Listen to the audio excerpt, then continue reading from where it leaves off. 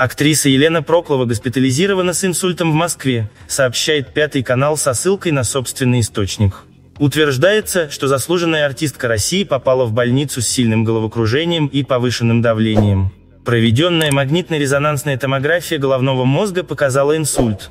По словам источника, 10 января Проклову перевели в реанимацию в состоянии средней степени тяжести. Ранее сообщалось, что российский певец Александр Буйнов упал с лестницы и был доставлен в больницу в результате полученной травмы. Как рассказал сам артист, после падения ему пришлось в срочном порядке ехать в медучреждение.